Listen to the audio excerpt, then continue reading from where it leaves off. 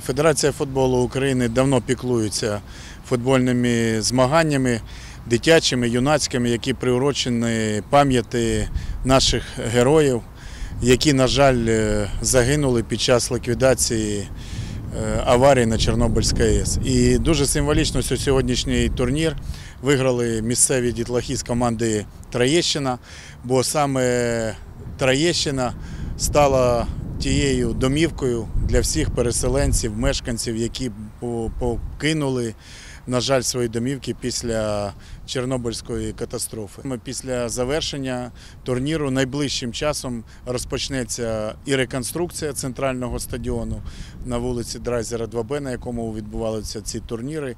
І стадіон буде побудований з сучасним штучним покриттям. І в таких умовах будуть грати діти нашого міста, діти, які будуть приїжджати на турнір пам'яті, приурочений чорнобильцям. На таких сучасних полях грають е, кращі дитячі академії Європи.